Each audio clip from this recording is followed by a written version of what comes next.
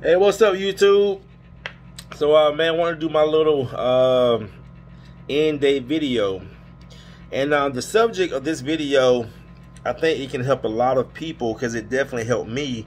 And it takes time. You know, guys, it takes time when you make changes, when you're trying to change who you are um, mentally. Um, because that's where everything starts in the mind, you know, and also the heart.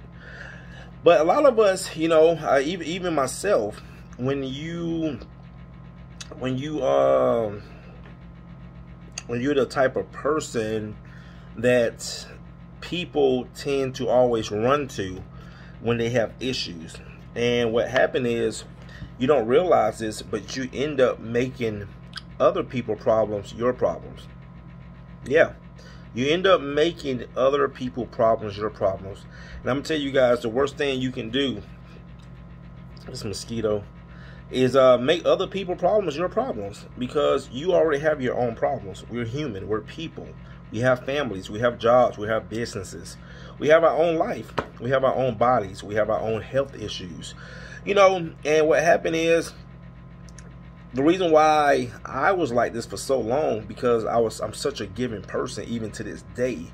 But you have to learn how to train your mind, you know, um, you know, when you when you're a yes woman or you're a yes man, every time somebody asks you something, yes, yes, yes, yes, and, and, and you don't realize this that people they will they will take advantage of that because they say, oh my God, he said yes. Well, let me ask him again. Oh, he said yes. Let me ask him again. He said yes. And next thing you know, you become that person that they always run to when they have issues, when they need money, they need something you're that person. And, it, and it's usually money because everybody want to call and borrow some money. But you know um, I, it took me a long time and, and i tell you some of the people that will take advantage of you it's usually the people that are closest to you. Your parents your your your your, your, brothers your sisters your kids.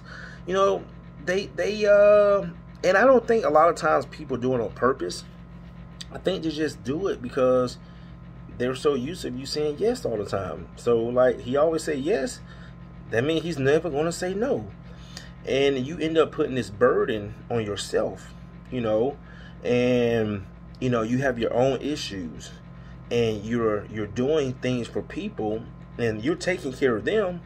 But you know, I, I heard I heard one of my uh, uh rapper. Well, he's not a rapper anymore, but I heard a guy that I he's a very uh, smart guy, and uh, uh, man, Master P. You guys probably heard of Master P. He's a rapper. And I heard Master P say it one time in a video. I never forget this. He said, You're always doing stuff for people, but who's going to do something for you when you need help? You know? And when he said that, it just stuck with me. Like, man, I'm always giving, but when I need something, who can I run to? You know? And be honest, guys, really nobody, you know, but everybody can run to me when they have issues. And that really said, so he was like, if they can't do the same thing that you can do for them, well, you're fair. You're, you're even when you say no. Because if you can't do it for me, why should I always have to do it for you? And that message that Master P put out, it really helped me. And also my wife. You know, I used to always be a, a yes man to my mom.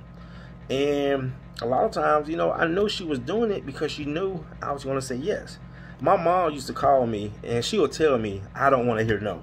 Like she's telling me off the rip, ain't even asked me the question yet. I don't want to hear no. You know, and I think a lot of times, even as parents, we use this to our advantages. We take try to take uh, uh um, we try to take advantage of our kids because I hear a lot of parents, you know, and I don't believe in that. You know, I hear a lot of parents say, "Oh, I took care, I, took care of my child. My child's gonna take care of me."